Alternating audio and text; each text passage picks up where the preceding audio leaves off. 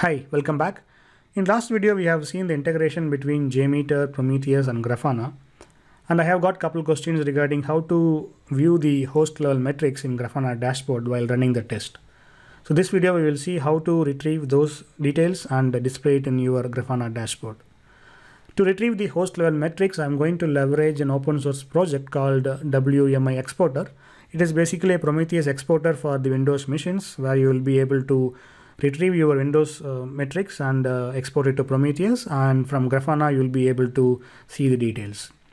The installation of this particular package is very simple. All you need is go to this GitHub repository and uh, click on uh, releases and based on your system architecture you can download uh, the MSI package or uh, .exe package. I have already downloaded and installed the MSI.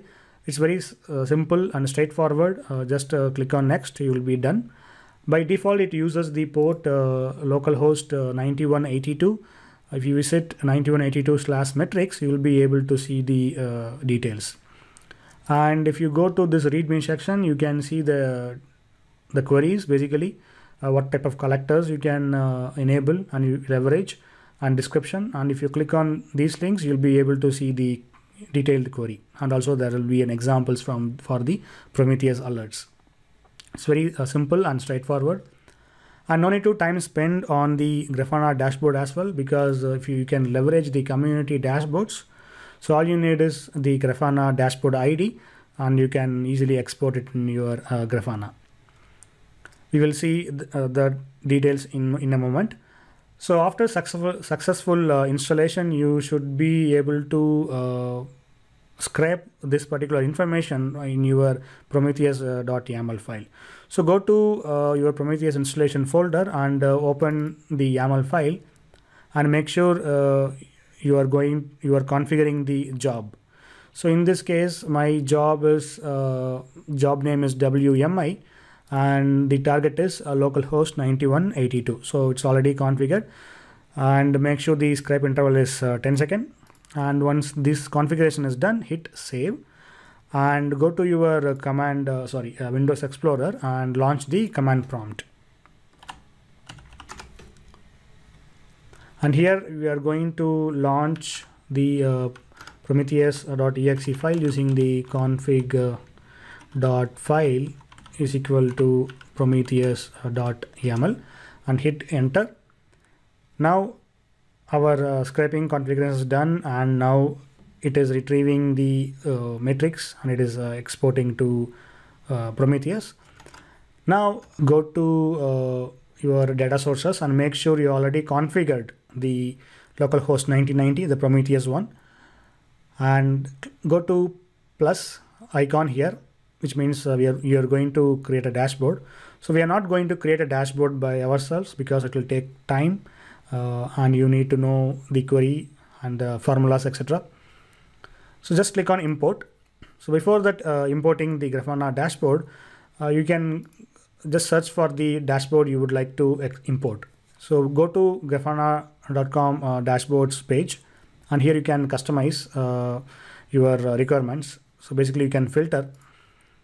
And here you can select the data source as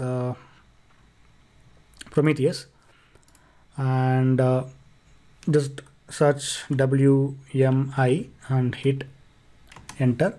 So here you can see the community dashboards and sort it by the uh, reviews or you can sort it by the uh, the frequency of the uh, downloads. So let us go with uh, we can go for this one Windows host metrics base. Just click on it and uh, click this uh, button copy id to clipboard and go to your grafana and paste it here and click on load. And here you can give a name uh, and then you can select the source as prometheus and click on import. So this will import everything and then it will display automatically for you. So right now i have the uh, cpu 4 processors 4 core uh, ram is 16 gb and cpu 60 percentage memory disk utilization etc and if you expand the CPU, uh, memory, uh, network details, etc., you can see those details. If you want to customize, you can, of course, you can do that. Just click on this gear icon and uh, click on this make editable and uh, go to your JSON model. You can see the JSON model and go back and here you can uh, go to edit and see the query. So right, uh, right now this is the query for the CPU utilization and uh, you can customize based on your needs.